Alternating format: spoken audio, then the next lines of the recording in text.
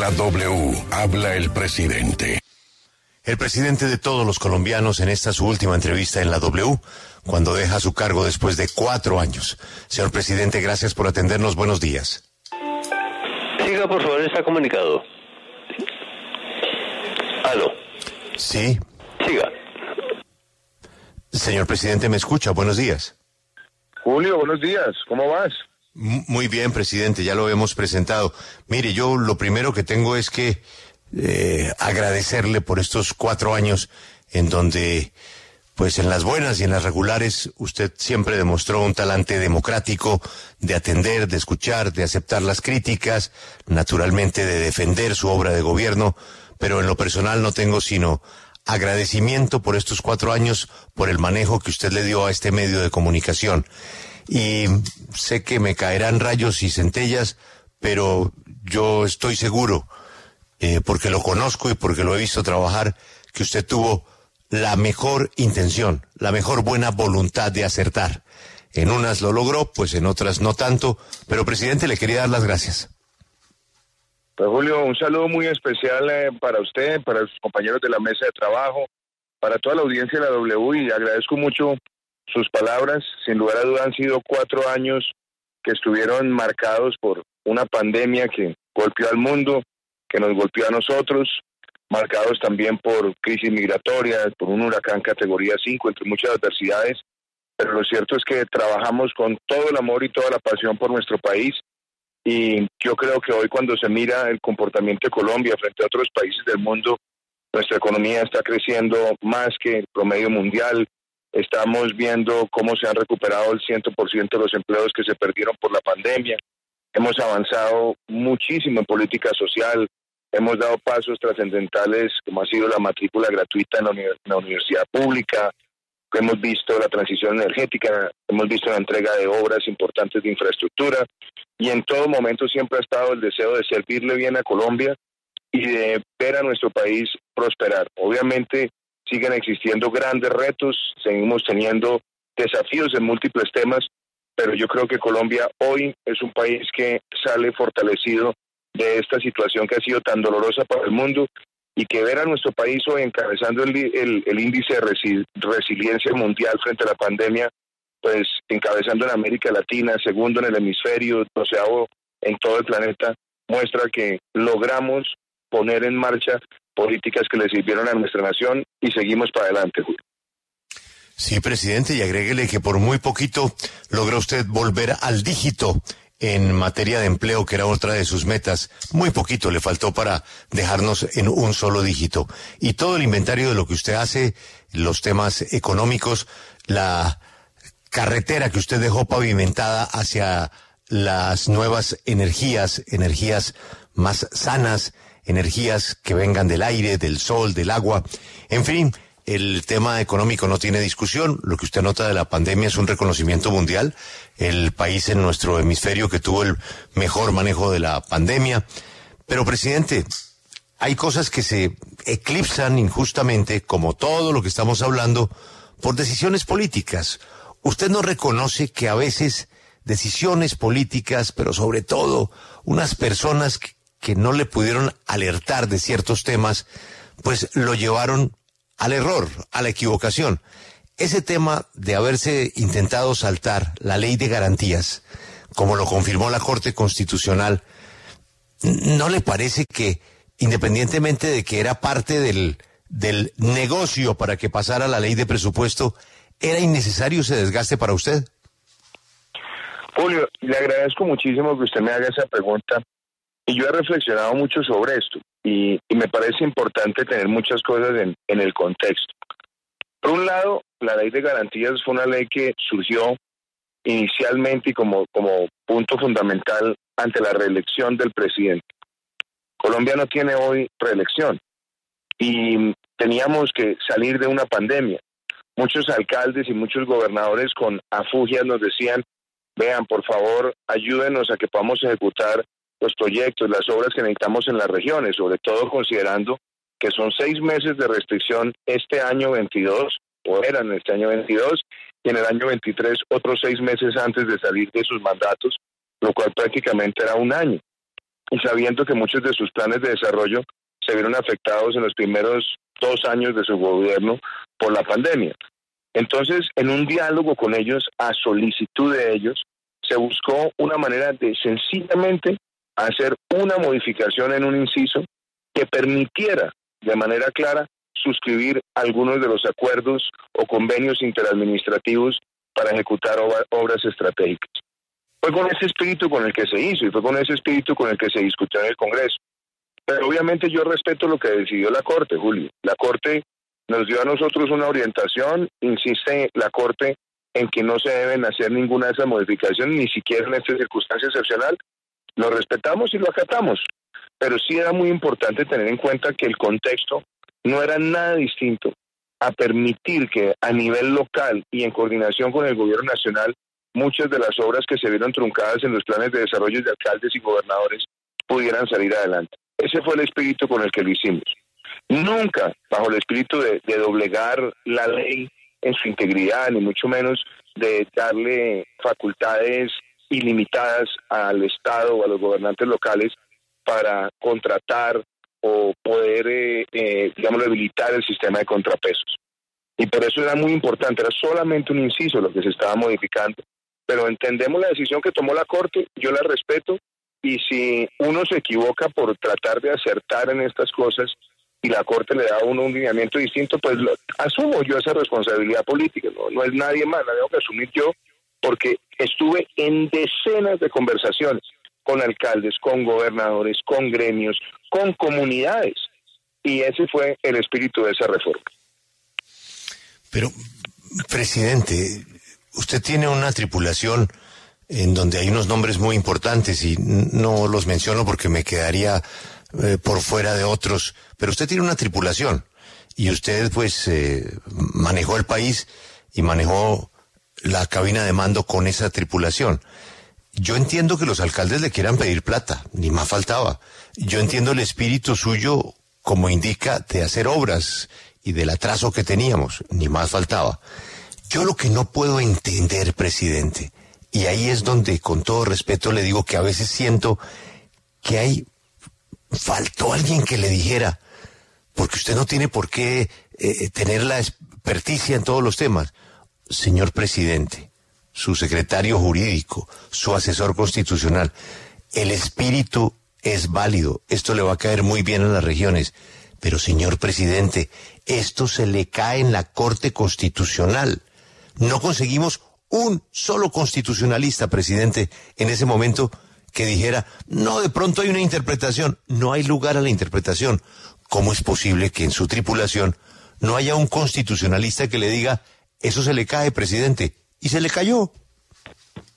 Mire, Julio, ahí, sobre esa pregunta, y yo creo que eso puede pasar sobre muchos temas, es importante ver también el contexto histórico de lo que ha pasado con esa ley de garantías. Usted recordará el gobierno que me antecedió intentó hacer una reforma mucho más profunda de esa ley de garantías en antesala al plebiscito del año 2016. Y usted se acordará también que hubo muchas solicitudes después de que se abolió la reelección en el Congreso y en distintos lugares de que se pudieran introducir reformas. Yo coincido en que siempre estos temas son, son polémicos. Yo coincido también en que hay una situación excepcional. Y la situación más excepcional, Julio, como se la digo, es que los planes de desarrollo se vieron truncados y la reforma que se hizo no era una reforma de carácter permanente. Si usted se da cuenta, era una reforma específica, limitada, y valoramos muchísimos aspectos, los pros, los contras. Se sabía que siempre sería este un tema debatible, pero el argumento también de fondo era la excepcionalidad de hacerlo en el marco de una emergencia sanitaria en la que estaba el país. Y más hacerla también sobre la base de que no se debilitaran ninguno de los contrapesos estructurales, solamente en un inciso correspondiente a la suscripción de convenios.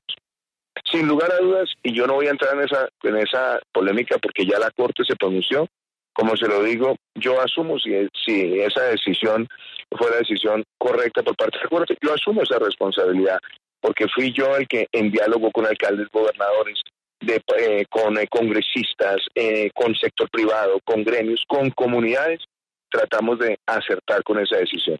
Y yo acato la decisión que tomó la Corte.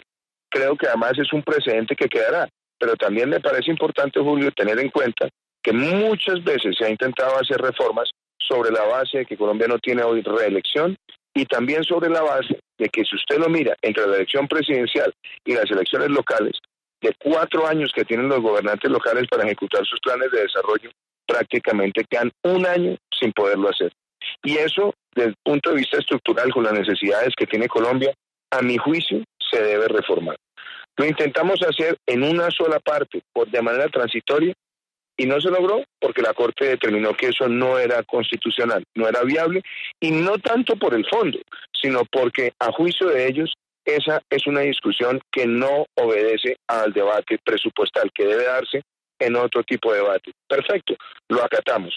Pero yo sí creo que estructuralmente Colombia debe pensar en corregir esa limitante de casi un año en la contratación y en la ejecución de ciertos proyectos para los gobernantes locales para poder tener un mejor impacto hacia la población.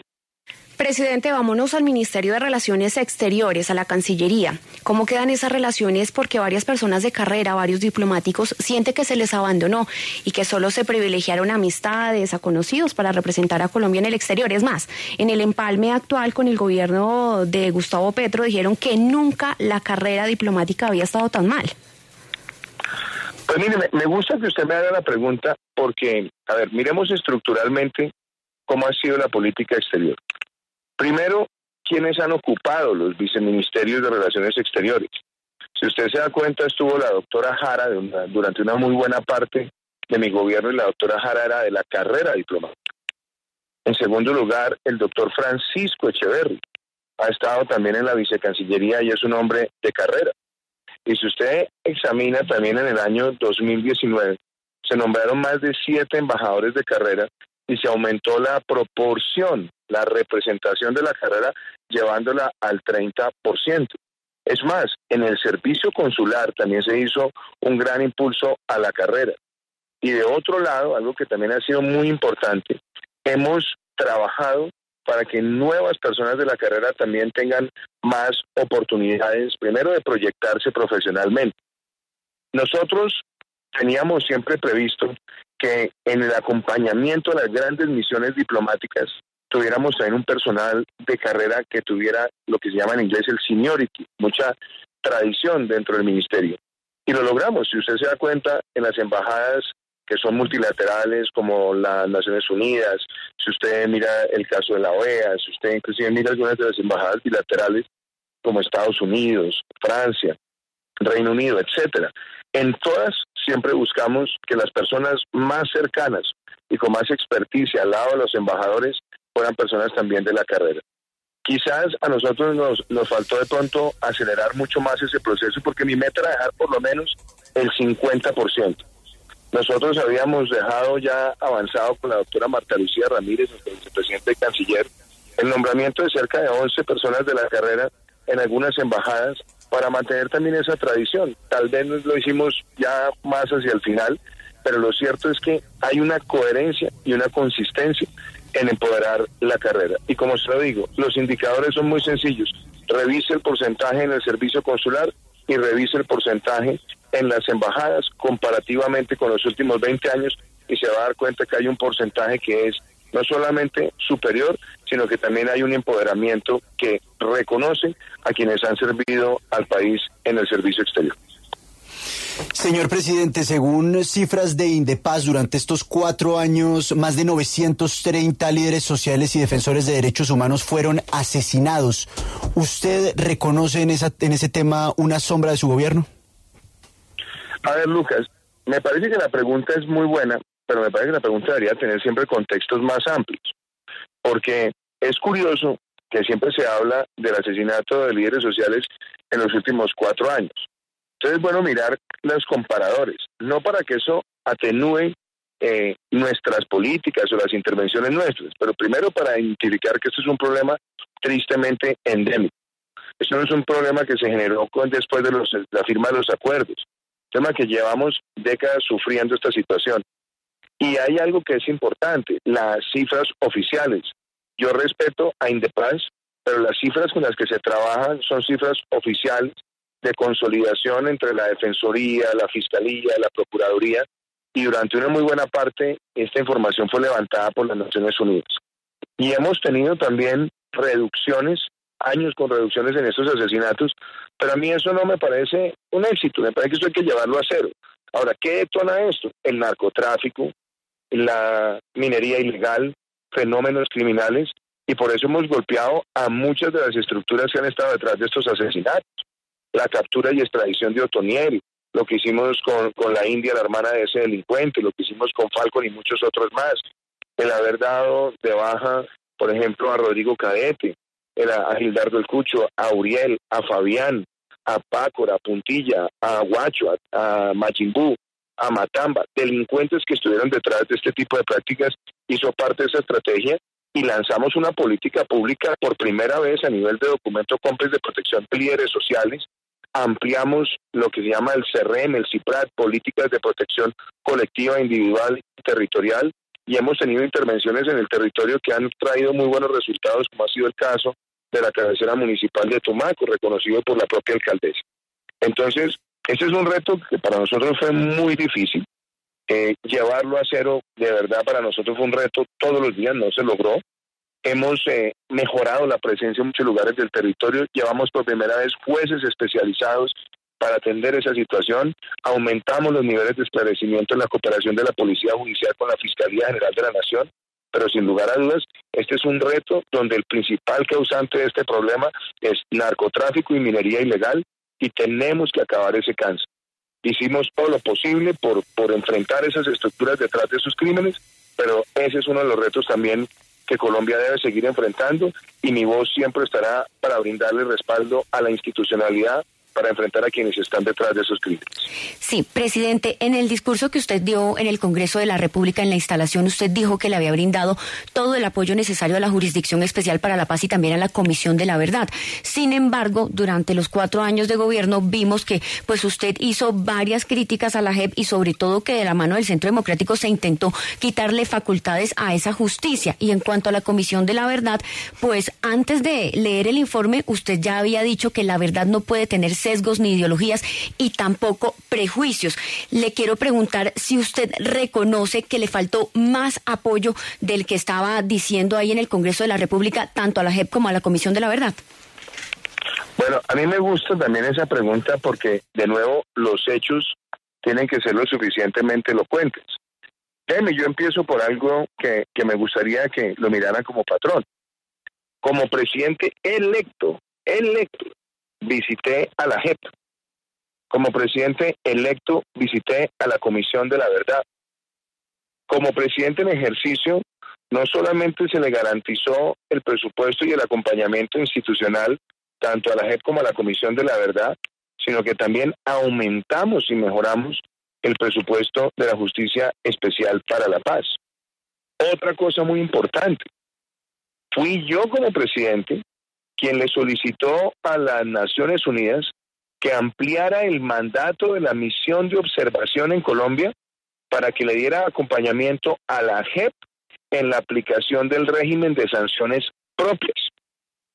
Fui yo también el que apoyé la extensión del mandato de la Comisión de la Verdad a solicitud que hiciera el padre Francisco de Rú.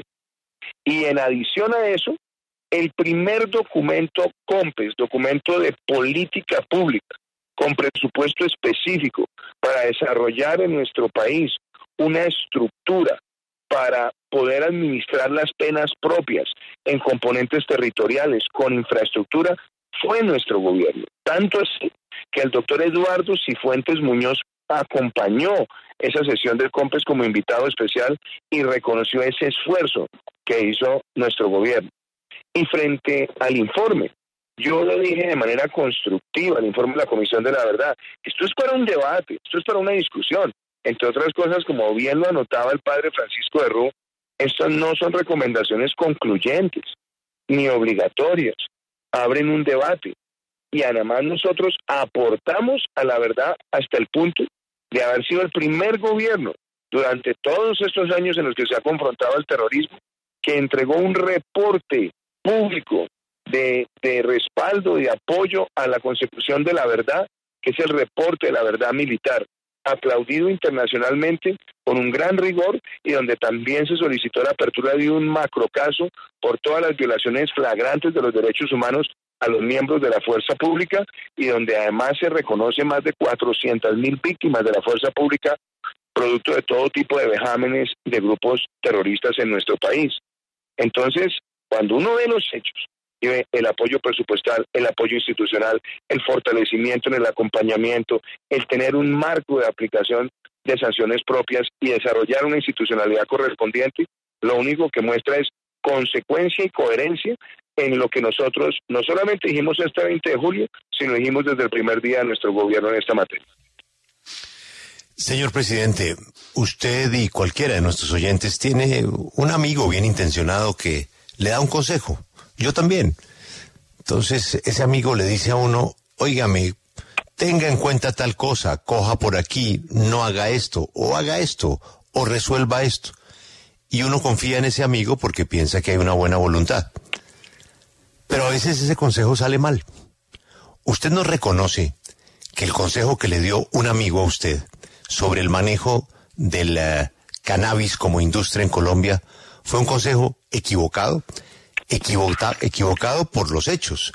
Colombia, teniendo el impulso que traía ya para entrar a la industria del cannabis, perdió cuatro años, perdió el mercado, ya no lo va a recuperar, perdió miles de miles de empleos, perdió millones de millones de dólares. Todo por cuenta que a usted alguien le dijo, óigame, si usted se mete con ese tema del cannabis, usted va a quedar como patrocinador de una industria de la droga que es la estampilla, la etiqueta perversa que siempre ha tenido Colombia. No se meta ahí porque queda usted de promotor de la droga apoyando la industria del cannabis. Presidente, y se equivocó el amigo. Y eso es lo que le pregunto. ¿No reconoce usted que el amigo de buena voluntad, pues lo metió en un error que ya es irreversible, haber frenado la industria del cannabis en Colombia? Julio, a mí me parece bueno que miremos eh, la pregunta en el contexto también de los hechos. Si usted mira mi récord como senador de la República, no solamente voté a favor de todas las iniciativas legislativas del cannabis medicinal, sino que adicionalmente participé en múltiples debates, procesos, foros para hablar sobre el desarrollo de una industria farmacéutica de talla mundial en materia de cannabis medicinal. Y desde el gobierno es muy importante también poner muchas cosas en contexto. Nosotros teníamos un marco normativo que antecedió a nuestro gobierno pero el mercado que teníamos nosotros de exportación era un mercado bastante limitado. Acá se había hecho una gran proliferación de aprobación de licencias que no tenían la facultad plena de poder producir y transformar. Y se creó una ventanilla única para ese propósito. Además, se creó un proyecto de interés nacional estratégico, un PINE, para ese sector se sacó la política pública farmacéutica para ese propósito y adicionalmente se sacaron los decretos que no solamente favorecen la producción en materia farmacéutica, sino también el uso industrial, incluyendo bebidas, alimentos en el componente no cannabiáceo, y pudimos también dar el paso para que Colombia fortaleciera su legislación en materia de flor seca. Esto se lanzó con la industria se lanzó el año pasado. ¿Y sabe cuál fue la, la, la postura de los gremios y de la industria, Julio? Que era la reglamentación más moderna en esas materias que tenía hoy América Latina y que además estimularía este sector. Claro, hoy estamos en unos niveles de competencia que han aumentado y usted sabe que además hay restricciones que han impuesto algunos países sobre los flujos de divisas y inversiones en Colombia. Pero hace muy poco que estuve también yo he visitado ya cuatro plantas de cannabis medicinal desde que soy presidente. Estuvimos inclusive en Doima, viendo una de las producciones más importantes. Y todos esos grandes actores han reconocido los esfuerzos que ha hecho nuestro gobierno. Yo tengo absoluta claridad en saber separar qué es el cannabis medicinal y cuál es el uso recreativo del cannabis. Pero desde el punto de vista normativo, y usted podrá ver a muchos expertos en la materia, han aplaudido las normas que ha emitido nuestro gobierno. Retos que tenemos hacia adelante, aumentar la capacidad de exportación, no solamente de, de fórmula magistral farmacológica de procesamiento, sino adicionalmente poder lograr que la flor seca de nuestro país irrumpa en otros mercados. Pero este gobierno, y lo puede mirar comparativamente norma a norma, ha sido un gobierno que en esa materia ha visto a este sector como una gran oportunidad y como una gran posibilidad.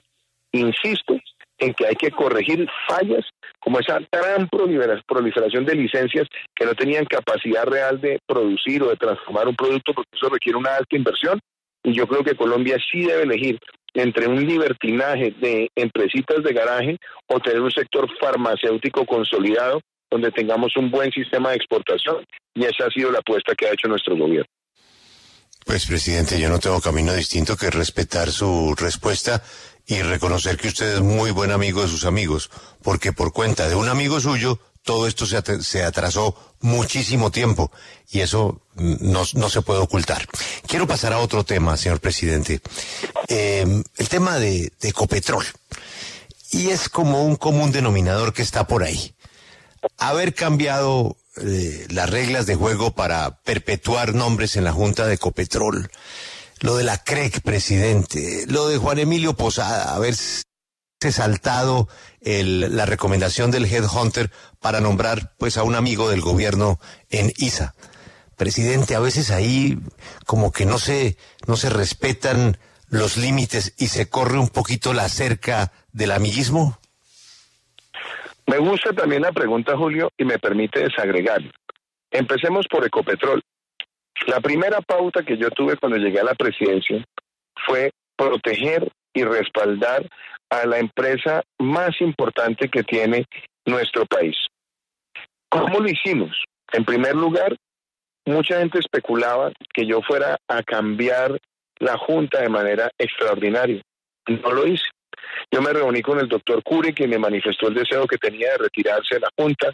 Él inclusive quería renunciar antes y le dije, no, doctor Cure, acompáñeme hasta la asamblea extraordinaria que tenemos en, en comienzos del año 2019 miremos cómo están todos los indicadores de gobierno corporativo, de resultados operacionales.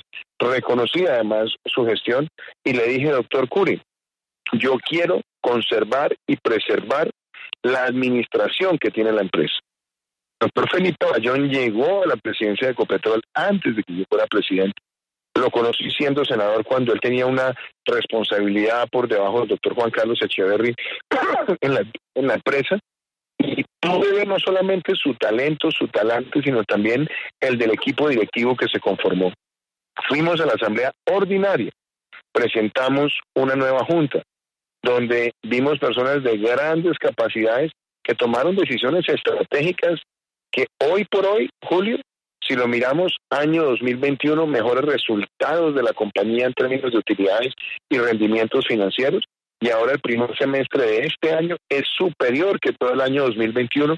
Luego este año nuevamente será el mejor año de la empresa y en el año 2020 fuimos de las pocas empresas, fue Ecopetrol de las pocas empresas en el mundo petroleras nacionales que no tuvo números rojos, que logró pasar con números negros un año tan difícil. ¿Por qué digo esto? Porque es importante ver el contexto de los resultados. Y frente a la pregunta que usted hace, si se han atornillado o perpetuado, no, se hizo una valoración en la cual la junta directiva, el doctor Bayón, analizaron los estándares de gobierno corporativo de empresas similares en el mundo y sugirieron una extensión del periodo de los miembros de junta. No obstante, dejando absoluta claridad que eso no iba a ser una camisa de fuerza para en el caso en que se diera la transición presidencial o la transición de gobierno como se da, pudieran tener las facultades y capacidades para cambiar uno, dos o todos los miembros de la Junta, bien fuera a través de una asamblea extraordinaria o a través de una asamblea ordinaria.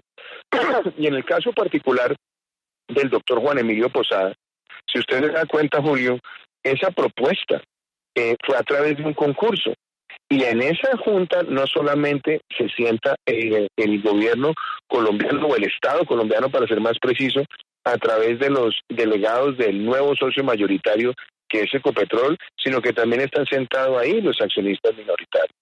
Y se dieron los debates, se dieron las votaciones, se hicieron todas las pruebas y se eligió una persona que tiene gran competencia, gran trayectoria y que conoce además de esa relación estratégica que se tiene que consolidar entre ISA y Ecopetrol. Y le voy a dar solamente un dato. A partir de esa fusión y gracias a las decisiones financieras que se han tomado en los últimos meses, el costo financiero para ISA se ha reducido en más de un 33%, que beneficia a quién? Al valor de la empresa, a los accionistas mayoritarios y minoritarios y muestra y refleja también el manejo independiente que ha tenido la empresa. De hecho, durante una muy buena parte de mi gobierno estuvo el doctor Bernardo Vargas Gibson, que además fue nombrado en el gobierno que me antecedió, y siempre apoyé las líneas directivas de la empresa para que la empresa se fortaleciera. Entonces, mi lineamiento, el mío como presidente, ha sido el de respetar gobiernos corporativos, buscar mejores prácticas y tratar siempre que las empresas que son propiedad del pueblo colombiano tengan los mejores resultados financieros de su historia. Y eso se ha logrado con Ecopetrol y esperamos que se logre con ISA este año. Presidente, el país se movilizó en protesta durante su gobierno y vimos varios casos de violencia policial. Usted viajó a mi tierra, a Cali, y se vistió de policía. ¿No cree que fue exagerado verse vestido de policía cuando existían tantas denuncias sobre violaciones a derechos humanos que han sido cuestionadas internacionalmente? Miren, usted me hace una pregunta. Primero, si me vestí de policía. No, yo no me vestí de policía. Me puse etiqueta presidencial de policía que me da a mí eso además da un mensaje a las víctimas perdón, de violencia pero usted hizo policial. la pregunta usted hizo la pregunta permítame yo le contesto. Entonces es muy distinto vestirse de policía a usar un, una- un, un elemento distintivo que tengo como comandante suprema de una de las fuerzas. Y me lo puse con orgullo con orgullo porque quiero a la fuerza pública de Colombia quiero a la policía. Y sé que por encima de cualquier conducta individual que sea sancionable, investigable, censurable de alguno de sus miembros, hay una institución que tiene integridad, honor, amor por este país y que todos los días se la juega por los colombianos. Ahora veo que hay muchas personas que han manifestado su preocupación por el asesinato de policías. El año pasado asesinaron 80 en el cumplimiento del deber, luchando contra el crimen organizado, enfrentándose a toda suerte de malandros, delincuentes y también va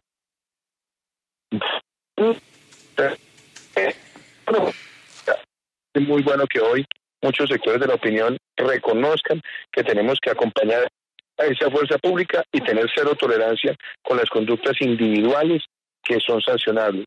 Pero usted me hace la pregunta de derechos humanos. Este gobierno fue el que sacó el nuevo estatuto disciplinario de la policía, endureciendo las sanciones cuando hay actos que deshonran el uniforme. Se creó el comisionado de derechos humanos de la policía. Se estableció una nueva metodología de formación.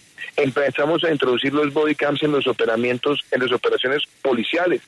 Le dejamos a la policía también otro otro uniforme que entre otras cosas tiene la visibilidad no solamente de quien está en el ejercicio de la función policial, sino el código QR para la plena identificación. Y fuera de eso, hicimos un nuevo estatuto para el patrullero de la Policía Nacional donde se premia la excelencia del cumplimiento del deber, además de tener sistemas de seguimiento balístico para saber en qué momento se activa y cómo se activa un arma por parte de un miembro de la Policía Nacional. Entonces, todas esas reformas nos dan a nosotros la autoridad moral de decir, hemos actuado para fortalecer la institución y hemos sido implacables para denunciar conductas individuales que deshonran el uniforme, pero valorando y reconociendo una institución de 130 años que le ha servido bien a Colombia. Y usted me menciona ese día en la chaqueta. Ese día en la chaqueta fue después de que intentaron quemar más de 60 CAIs en Bogotá, donde nosotros Claro que rechazamos lo que ocurrió con Javier Ordóñez. Se dieron las capturas, el procesamiento judicial rápidamente, inclusive, inclusive más rápido de lo que pasó en Estados Unidos con el caso de George Floyd.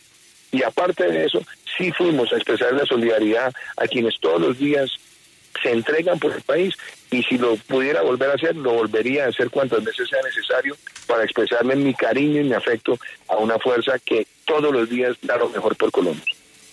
Presidente, eh, ¿por qué hubo tanta discordancia entre los anuncios a nivel internacional con las realidades ambientales que tiene el país? Por ejemplo, usted anunció nuevas áreas protegidas, sí, eso está muy bien, pero mientras tanto, presidente, se pusieron en riesgo 10 parques nacionales naturales, como por ejemplo, construyeron una carretera en medio del parque Chiribiquete, que es uno de, una de las zonas más preciosas que tiene el país, zona en donde también la deforestación aumentó en un 13%. El Parque Tinigua ha perdido en estos últimos tres años el 25% de su cobertura natural y el fracaso y la demora con el acuerdo de Escazú.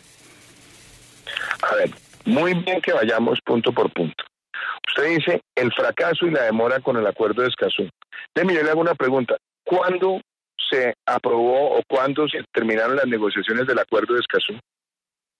Casi tres años antes de que yo fuera presidente de la República. ¿Cuál fue el presidente que firmó el acuerdo de Escazú? Iván Duque. ¿Cuál fue el presidente que presentó al Congreso el Tratado de Escazú? Primero con mensaje de urgencia, donde se suscitó una gran polémica por no tener tiempo de amplio debate, y después por la vía ordinaria, donde ya va en dos debates en el Congreso el gobierno nuestro. Y además de eso, He tenido plenas reuniones con el equipo de la CEPAL, reconociendo que el reto más grande que tiene ese tratado es que es un trabajo, es un tratado que no permite denuncias parciales, lo cual lo hace más complejo. Y usted ve, por ejemplo, el caso de Costa Rica. ¿Dónde se firmó el Tratado de Escazú? En la ciudad de Escazú, en Costa Rica. Y Costa Rica no lo ha ratificado. ¿Por qué? Porque hay debates que todavía en muchos países se siguen suscitando. Pero yo he sido no solamente un defensor del tratado, sino que considero que hay de pronto mucha prevención y mucho prejuicio frente al alcance de muchos artículos porque creo que ya están consolidados en la legislación colombiana. Segundo, usted me habla de parques naturales nacionales. Solamente nosotros hemos ampliado los parques. Ya nosotros hicimos la ampliación de, de Estoraque y esperamos muy pronto avanzar en el tema de Manacasías. Tenemos ya un sistema que supera los 60 parques y hemos no solamente aumentado la inversión, sino también la protección. Usted dice la, deforestación. Claro que hemos tenido años muy difíciles, muy complejos. De hecho, el año pasado hubo un aumento en la tasa del 1.5, pero miremos el comportamiento de los cuatro años. Cuando usted ve el comportamiento de los cuatro años en la tasa de deforestación, la tasa de deforestación en el cuatrenio promedio de manera integral tuvo una reducción del 30%. Es la mayor reducción de la tasa de deforestación en un cuatrenio en más de 20 años. ¿Seguimos teniendo ese reto? Claro que sí. Ahora, usted dice una carretera. Nosotros no hemos utilizado algunas carreteras, de unas trochas de algunos bandidos que en Colombia querían utilizar esas trochas para ir por maderables. Y este gobierno sacó una nueva ley de delitos ambientales donde por primera vez no hay escarcelación a esos delitos y además se contempla el delito de deforestación, medida que además hoy es referente para otros países. Y nosotros pusimos en marcha un sistema de áreas protegidas de expansión donde estamos dejando el 34% del país declarado como área protegida, 37% en áreas marinas, 31% en territorio continental, pero con recursos para hacer esa protección efectiva, como lo hicimos con Herencia Colombia, con el cierre financiero, donde hay un aporte de la filantropía global ambientalista, un aporte también de nuestro gobierno, y antes del 2030 ya logramos ese nivel de protección, por lo cual hoy Colombia no solamente ha sido reconocida, sino que Colombia será uno de los países líderes en la próxima COP15 de biodiversidad por esta decisión de haber duplicado las áreas protegidas, algo que es verdaderamente histórico. Pero súmele a eso la transición energética, la política de economía circular, el tener 10.000 familias en pago por servicios ambientales, el tener en este momento más de 150.000 hectáreas de silvopasturas para llevar medidas de contención ambiental a mejores prácticas agropecuarias. Y así podríamos enumerar muchas cosas. Retos hay. Claro que faltan todavía muchas cosas, pero hoy Colombia ha sido reconocida mundialmente como uno de los países líderes en materia de acción climática. Súmele a eso la siembra, protección de un millón de corales, lo que se ha venido haciendo con manglares y con eh, lo que llaman carbono azul con conservación internacional. Y súmele también a eso lo que ha sido la ambición global de una comisión de resultados de jefes de Estado, donde Colombia estaba a la vanguardia y lo vimos en la cumbre de Lisboa, donde Colombia fue el único país que llegó con un anuncio contundente de haber superado el 30% de áreas protegidas marinas. Entre otras cosas, mejorando y ampliando parques y reservas tan importantes como Malpelo y Yuruparí, y lo que hicimos ahora con la cordillera de Beata en un acuerdo binacional con la República Dominicana. De manera que yo tengo la satisfacción de haber avanzado en estos temas, pues además han hecho parte de mi agenda, de mi corazón, de mi visión, y seguiré involucrado con estos temas. Faltan todavía muchas cosas por hacerse, pero los saltos cualitativos y cuantitativos de Colombia en estas materias hoy son conocidos por el mundo entero. Por supuesto, presidente. Ahora hablemos de la relación con la prensa. La FLIP calificó su gestión como hermética, eh, resaltó la utilización de recursos del Estado para vigilar a la prensa y lo señalan a usted de tener un trato diferenciado con los medios. ¿Usted qué contesta? Pues yo la verdad nunca entendí cuál es ese trato diferenciado, porque Ustedes me han hecho todas las preguntas que han querido durante los cuatro años y todas las he contestado.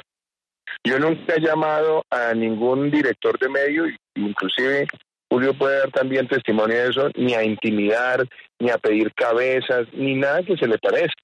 Y fuera de eso, yo trato de hablar con todos los medios. Inclusive en el reporte trataban de decir, según me cuentan, que yo no había hablado con la silla vacía, por decir algo, y hasta hace muy poco vino aquí a la Casa de Nariño la silla vacía, vino el doctor Daniel Pacheco, vino con una de sus editoras, hicimos una conversación larga, me preguntó lo que quiso, sin ningún tipo de restricción, contesté todas las preguntas. Yo no tengo espíritu selectivo con la prensa. Es más, bien lo decía Julio en la introducción de esta entrevista, decía que se reconoce ese talante democrático de este gobierno en siempre haber sido respetuoso de la libertad de prensa y de la libertad de expresión. Y algo de más importante, una de las primeras acciones que yo hice en relación con la prensa fue la firma de la declaración de Chapultepec. La hice pública, la hice en la ciudad de Cartagena y yo creo que todo presidente en los primeros días o meses de su gobierno tiene que firmar esa declaración de Chapultepec donde respeta y defiende la libertad de prensa como uno de los pilares más importantes de la democracia. Señor presidente, por razones de tiempo suyo, ni más faltaba, esta es la última pregunta. Usted menos reconoce que usted se va de la casa de Nariño. Con, como hemos dicho, pues muchos sueños que se cumplen, otros que no se pudieron cumplir, pero reconociendo que políticamente, políticamente queda muy fracturada, muy fracturada su colectividad política, es decir, no necesariamente por culpa suya, pero por cuenta de las relaciones del gobierno con el Centro Democrático, eh, eso termina, termina pasándole una cuenta de unas heridas ahí que tardarán en, en sanar. Julio, yo creo en la democracia y yo creo en los partidos y también creo que los partidos, como suele ocurrir en Colombia y en el mundo, tienen hay competencia, con los cuales hay diferencias y también coincidencias. En el antagonismo también a veces se pueden encontrar coincidencias y el Centro Democrático no es la excepción. Yo hace cuatro años, cuando gané la candidatura, me enfrenté eh, con varios aspirantes y hubo un sector que nunca perdonó esa victoria. Pero yo no sufro con eso y ya todo el mundo en el partido lo he tratado siempre con respeto, con, con atención, nunca con agravios. Yo nunca he reconocido enemigos políticos. Yo creo en, la, en el triunfo de las ideas, como se ocurrió después de 16 encuestas, donde ganamos en las 16 encuestas. Y sobre todo, Julio, gobernamos con el plan de gobierno con el que gané primero dentro del partido, después en una consulta, después la primera después la segunda vuelta. Gobernamos con ese plan de gobierno con apego a él, que además fue el plan de gobierno que una vez yo gané la candidatura respaldó integralmente el partido. Los partidos a veces tienen momentos de mucha tensión, inclusive momentos de fractura, pero también los partidos tienen que renovar las ideas y tienen que volverse a nutrir ideológicamente y tienen que pensar cuál es su postura frente al presente y frente al mañana. El Centro Democrático es un partido que tiene vocación de servicio, vocación de llegar al poder para servir. Es un partido que ha tenido también crisis, dificultades, Usted recordará el año 2015 los resultados de la elección local le fueron muy desfavorables y después tuvimos un gran desempeño en el Congreso y en la presidencia de la República. Entonces, yo no reconozco enemigos, yo no estimulo ni alimento fracturas, yo defiendo mis ideas y mis principios y creo que la democracia requiere partidos fuertes y sólidos y yo creo que inclusive eh, al interior del centro democrático y de todas las colectividades es sano que haya debates y que haya competencias porque el unanimismo deteriora la democracia y deteriora los partidos. Pero yo nunca seré un factor de división, sí, seré siempre un factor de defensa de las cosas en las que creo, en las cosas en las que creo le sirven a Colombia y como lo he hecho siempre, con respeto a las personas, duro con la argumentación, pero suave y respetuoso con los seres humanos. Entrevistamos a su padre cuando era ministro, luego cuando estuvo en el eh, sector financiero, a este hombre cuando era senador de la República, cuando estaba en el Banco Interamericano en Washington, luego cuando era candidato y muchas veces cuando pasó como presidente de la República. Esta tal vez es nuestra última entrevista en la W como presidente y estoy seguro que vendrán otras más en sus futuras actividades. Le deseamos. Uy, pero, no, no, no, Julio, porque esto ya me sonó a despedida y siendo la última entrevista con el presidente de la República, eh, Julio. Lucas, el déjeme uno, unita, unita del, del tema Venezuela, presidente, abusando de su tiempo, pero sí me parece clave que hablemos del tema Venezuela. Hágale, Lucas, porque, hágale, hágale. Porque presidente Presidente, usted decidió ser punta de lanza de la política de cerco diplomático contra el gobierno de Nicolás Maduro. Y pues ya que termina su gobierno, pues parece que Estados Unidos se bajó de ese bus, Nicolás Maduro sigue ahí y pues el gobierno que entra, el gobierno del presidente Gustavo Petro decidió normalizar esa relación con Venezuela. Mirando hacia atrás, presidente, ¿usted reformularía esa estrategia, esa estrategia diplomática en el caso de Venezuela? Bueno, buena pregunta. También se la desagrego Lucas. Mire la primera parte de la pregunta, usted lo que dice. Dice, usted apuntaló, usted lideró esa, esa lucha contra el régimen de Nicolás Maduro. Primero tengamos en cuenta cosas que sucedieron antes de mi llegada a la presidencia. La conformación del Grupo de Lima es casi un año y medio antes de que yo llegue a la presidencia. Y el Grupo de Lima fue un grupo multilateral en el cual entró Colombia desde el primer día para defender la democracia en Venezuela y evitar los atropellos de esa dictadura. Segundo, Lucas, cuando yo llego a la presidencia de la República llevábamos casi dos años sin embajador en Caracas. Y fuera de eso, en mayo del 2018, antes de que yo ganara la presidencia de la República, el gobierno que me antecedió no reconoció los resultados de esas elecciones fraudulentas en las cuales Nicolás Maduro pretendía perpetuarse en el poder. Yo ya había denunciado a Nicolás Maduro ante la Corte Penal Internacional siendo senador, ustedes me entrevistaron en su momento, yo ya había sacado varias proposiciones en defensa de los presos políticos en Venezuela y yo llegué con esa consistencia, pero también con algo importante, que mantuve la línea de seguir en el Grupo de Lima como instrumento multilateral de coordinación y segundo, también mantuve mi postura de no reconocer los resultados fraudulentos de esa elección. Y en enero del 19, no Iván Duque, más de 50 países reconocieron a la Asamblea Nacional como último órgano legítimo que le quedaba a la democracia venezolana y al presidente interino Juan Guaidó. Más de 50 países, incluyendo Estados Unidos, que hoy lo sigue reconociendo.